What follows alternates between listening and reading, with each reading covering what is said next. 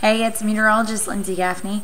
We still have those heat advisories continuing until 9 p.m. tonight, although a couple more have been added, and those extend all the way through Sunday because we're still going to have those really hot, humid temperatures. If you go outside right now, it is really muggy. Dew points around 70 to 75 degrees, so it's very muggy outside, very humid and just gross. I don't want to be out there. But luckily we do have a light breeze, so winds gusting up to 30, 35 miles per hour through this evening and overnight hours. So if you're planning on going out on the town tonight, keep that in mind.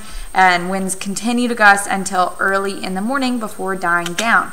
So if you're planning your evening outside of it being so hot and so muggy, it's going to be a pretty nice night clearing out, so we're going to be mostly clear. Temperatures drop down to about 80, 81 degrees by midnight tonight, only getting down to about 77, 76 degrees. So it's going to be really hot for the next couple of days.